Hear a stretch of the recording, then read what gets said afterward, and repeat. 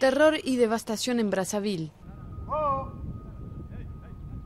La explosión de un depósito de municiones el pasado domingo, posiblemente originada por un cortocircuito, dejó más de 150 muertos y más de mil heridos y hay riesgo de que estalle otro depósito de armas. Entre los restos de las casas que fueron arrasadas por la explosión, todavía quedan rescoldos activos que buscan apagar. De lo contrario, el fuego podría propagarse hasta otro depósito a unos escasos 100 metros del lugar.